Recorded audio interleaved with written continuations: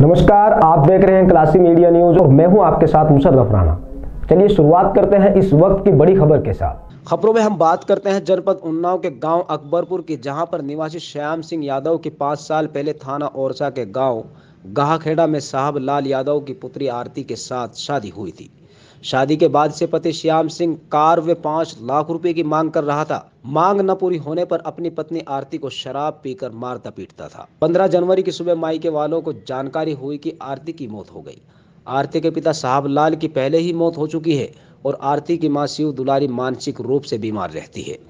वहीं आपको बता दें कि अब उसका दामाद सत्यपाल ही जो पूरे कामों की देखभाल करता है। वहीं पुलिस ने शव को पोस्टमार्टम के लिए भेज दिया और मामले की जाँच कर रही है।